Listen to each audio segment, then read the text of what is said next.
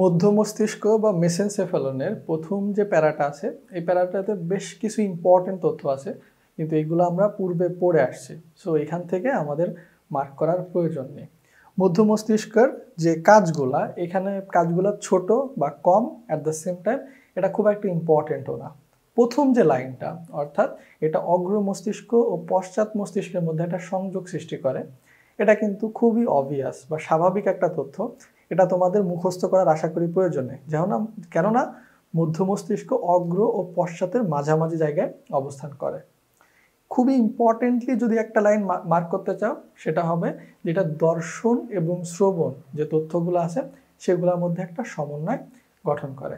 এরপরে দেখো আছে পশ্চাৎ মস্তিষ্ক। পশ্চাৎ মস্তিষ্ক কয়েকটা অংশ নিয়ে গঠিত, এটা আমরা জানি, আমরা পূর্বে পড়ে আসছি। এদের ফার্স্ট অংশটা হচ্ছে সেরেবেলাম এবং এটাই সব থেকে বড় অংশ। আমাদের টোটাল মস্তিষ্ক বা অগ্র মস্তিষ্কের সব থেকে বড় অংশ হচ্ছে সেরেব্রাম সেটার সাথে মিল রেখেই কিন্তু মনে রাখতে পারো যে পশ্চাৎ মস্তিষ্কের সব থেকে বড় অংশ হচ্ছে সেরেবেলাম। এবং এই সেরেবেলামের যে দুইটা অংশ আছে, সেটা কিন্তু ভার্মিস নামক এক এক প্রকার একগুচ্ছ তন্তু দ্বারা যুক্ত থাকে দুইটা একে অন্যের সাথে। পূর্ণবয়স্ক মানুষের সেরেবেলামের ওজন সাধারণত গড় ওজন দেড়শো গ্রামের মতো, অর্থাৎ একশো পঞ্চাশ গ্রামের মতো হয়ে থাকে। সেরেবেলামের কাজ বেশ ইম্পর্ট্যান্ট কিন্তু কিছুটা কনফিউজিংও কেননা আমরা সেরেব্রাম অংশে পড়ে আসছিলাম যে ঐচ্ছিক পেশির কার্যকলাপ নিয়ন্ত্রণ করে সেরেব্রাম কিন্তু এখানে বলা হয়েছে ঐচ্ছিক পেশির টান এবং ঐচ্ছিক চলাফেরা নিয়ন্ত্রণ করে। সো ওই তথ্যটা তোমরা এখানে ফাঁকা জায়গাটায় লিখে রাখবে। যার ফলে তোমরা যেন দুইটাকে মিক্স আপ না করে ফেলো। এর বাইরেও এটা কিন্তু দেহের ভারসাম্য ও দেহভঙ্গি নিয়ন্ত্রণ করতেছে। মানে দেহভঙ্গির মধ্যে একটা ভারসাম্য বজায় রাখতেছে এবং চলাফেরার দিকও নিয়ন্ত্রণ করতেছে। এর পরবর্তীতে দেখা আছে মেডুল অবলঙ্গটা এটা মূলত একটা পিরামিড আকৃতির গঠন এবং এটা আমাদের যে ইন্টারনাল অর্গানের অর্থাৎ তোমার স্বয়ংক্রিয় যে নিয়ন্ত্রণ জাতীয় যেসব কাজ আছে আমাদের দেহে, তার কেন্দ্র হিসেবে কাজ করে। এখন এই স্বয়ংক্রিয় কাজগুলা কিন্তু বেশ টাফ অর্থাৎ গলদকরণ, তারপরে তোমার পেরিস্টালসিস আমাদের যে রক্তচাপ, এরকম যা কিছু শ্বসন, এরকম প্রত্যেকটা অংশই কিন্তু আলাদা আলাদাভাবে মনে রাখা বেশ টাফ সো তোমাদের কাজটা এমন হইতে পারে যে তোমরা এটা কয়েকবার রিডিং পড়লে এবং এটা খেয়াল রাখতে হবে যে স্বয়ংক্রিয় কাজগুলা, যদিও কাশিটা আসলে স্বয়ংক্রিয়র মধ্যে পড়ে না ওটা আলাদাভাবে মার করতে পারো। সো এই তথ্যগুলাকে ওইভাবে যে স্বয়ংক্রিয় কাজ এবং জাস্ট কয়েকবার রিডিং দিয়ে মনে রাখার ট্রাই করবা। আর একটা অপশন হইতে পারে যে তোমরা যদি বাকি সবগুলার কাজ জেনে যাও, এই একটার কাজ তোমরা স্কিপ করতেও পারো। এবং দেখো ইসের আমাদের যে মেডুল অবলঙ্কাটা এটা কিন্তু তোমার সুষুমা কাণ্ড।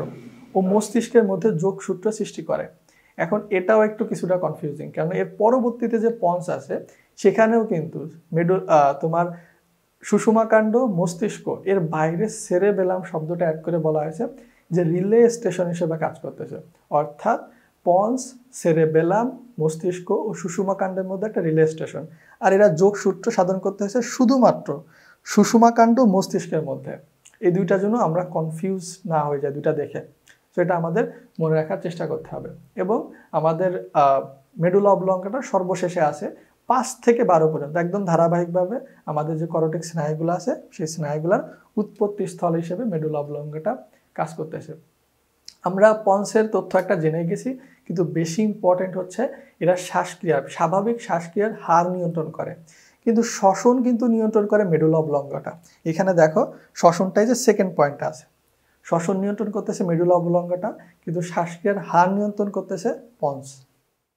মস্তিষ্কের গহব্বর প্রকোষ্ঠ বা ভেন্ট্রিকল যেটাই বলি না কেন, এটা কিন্তু কখনোই নিরেট নয়।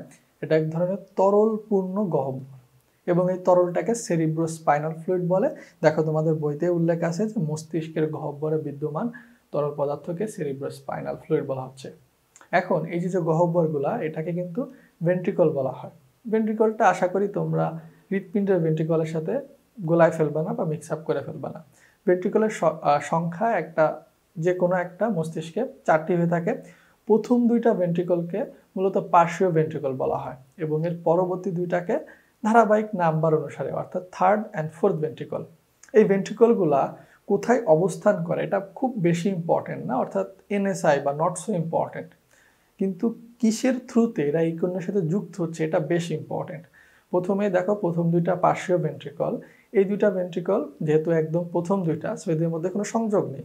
এরা অবস্থান করে আমাদের অগ্র মস্তিষ্কের সেরেব্রাল হেমিসফেয়ারে এর পরবর্তীতে দেখো যে তৃতীয় ভেন্ট্রিকল এটা আমাদের থ্যালামাসে দুটা থ্যালামাসের মাঝ, মাঝে অবস্থান করে এবং এটা পার্শ্বীয় দুইটা ভেন্ট্রিকলের সাথে ইন্টার ভেন্ট্রিকুলার ফোরামিনার মাধ্যমে যুক্ত হয়। এই তথ্যটা বেশ ইম্পর্টেন্ট এখানে দেখো আমি একটা ডায়াগ্রাম আঁকার চেষ্টা করছি যে প্রথম দুইটা, অর্থাৎ পার্শ্বীয় দুইটা ভেন্ট্রিকল মূলত তৃতীয় ভেন্ট্রিকলের সাথে যুক্ত হচ্ছে ইন্টার ভেন্ট্রিকুলার ফোরামিনার মাধ্যমে। এবং তৃতীয় ভেন্ট্রিকলের সাথে ফোর্থ ভেন্ট্রিকল যুক্ত হচ্ছে তোমার সেরেব্রাল অ্যাকুইডাক্টের মাধ্যমে, যেটা মধ্য মস্তিষ্কের অংশ। তাহলে দেখো আমরা এটাকে এইভাবে মনে রাখতে পারি যে এটা আসলে সেরেব্রাল অ্যাকুইডাক্ট এবং বাকি যে দুইটা ছিল, এই দুইটা হচ্ছে তোমার ইন্টার ভেন্ট্রিকুলার ফোরামিনা এবং চতুর্থ যে ভেন্ট্রিকলটা এটা সর্বশেষ ভেন্ট্রিকল সো আমরা আমাদের মস্তিষ্কের যে সর্বশেষ অংশ, অর্থাৎ পশ্চাৎ অংশ আছে, সেই পশ্চাৎ অংশে এটাকে দেখতে পাই।